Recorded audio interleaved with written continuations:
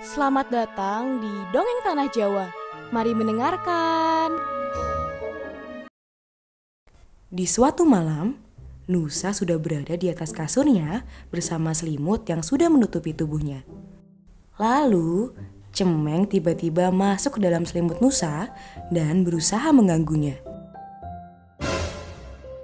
Cemeng, usil sekali sih kamu. Hehehe, aku belum bisa tidur nih. Ceritakan aku satu dongeng dulu dong Nusa. Uh, dasar kucing manja. Kemudian, Nusa beranjak dan mengambil buku dongengnya. Ia membacakan sebuah cerita dari buku dongengnya yang menceritakan kancil dan gajah. Begini ceritanya. Hore! Alkisah, seekor kancil sedang berpetualang di sebuah padang rumput yang hijau. Ia berlari-lari ke sana kemari. Karena kelelahan, ia kemudian mendekati sebuah oase yang berbentuk seperti kolam. Tak lama kemudian, ia meloncat ke dalam kolam tersebut dan terperangkap. Tindakan kancil masuk ke dalam lubang oase itu merupakan tindakan yang sangat ceroboh. Ia tidak berpikir bagaimana caranya ia naik ke atas bila sudah berada di dalam kolam tersebut. Beberapa kali kancil mencoba untuk memanjat, tetapi ia tidak bisa sampai ke atas. Tolong, tolong! Si kancil tidak bisa berbuat apa-apa. Ia hanya berteriak meminta tolong. Teriakan si kancil ternyata terdengar oleh seekor gajah yang kebetulan sedang berjalan melewati tempat itu. Hai, siapa yang ada di kolam itu? Aku, si kancil, sahabatmu. Kenapa kamu bisa di dalam kolam ini? Tanya gajah kembali. Kancil terdiam sesaat mencari akal agar gajah mau menolongnya. Tolong aku mengangkat buah-buahan ini, Tuan Gajah. Yang benar, kamu mendapat buah-buahan di dalam sana. Benar-benar, aku mendapatkan banyak sekali buah-buahan di dalam kolam ini. Tapi, bagaimana caranya aku turun ke bawah? Sebaiknya kamu langsung turun saja ke bawah. Sebab jika tidak, buah-buahan ini akan segera busuk.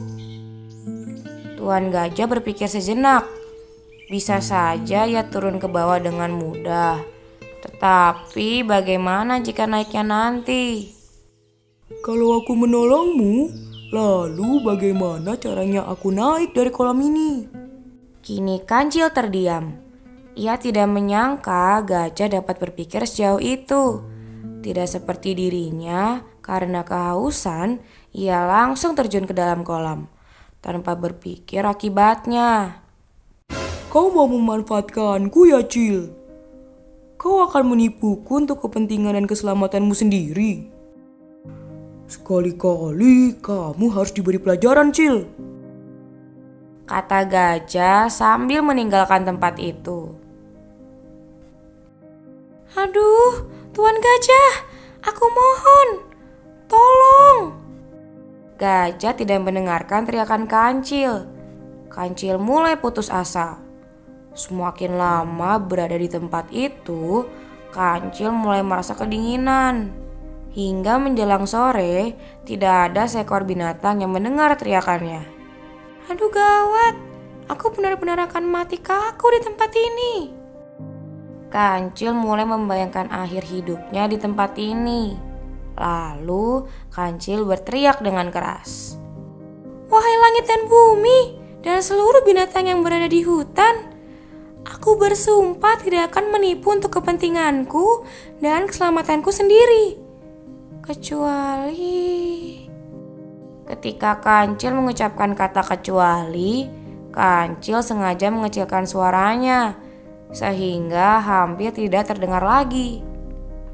Tadi sangka, ternyata gajah tiba-tiba muncul di tepi kolam.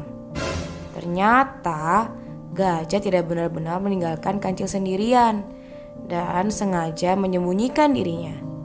Ia penasaran mendengar ucapan kancil yang terakhir. Kecuali apa? Tanya Tuan Gajah penasaran. Kancil pun terkejut mendengar suara Tuan Gajah. Tuan Gajah, kau kembali lagi. Jawab pertanyaanku, Cil. Kecuali apa? Uh, kecuali terpaksa untuk menyelamatkan diri. Karena aku hewan kecil yang sering terancam oleh harimau, singa, serigala, dan binatang lainnya yang jahat. Oh begitu. Sekarang, jadi kamu sudah sadar dan akan berjanji tidak akan menipu, jahil, iseng, dan perbuatan yang merugikan binatang lain. Benar, Tuan Gajah. Yakin? Yakin, Tuan Gajah. Aku benar-benar berjanji. Baiklah, sekarang aku akan menolongmu, Cil. Gajah menjulurkan belalainya yang sangat panjang untuk menangkap kancil dan mengangkatnya ke atas. Begitu sampai di atas, kancil berkata, Terima kasih Tuan Gajah. Saya tidak akan pernah melupakan kebaikanmu ini.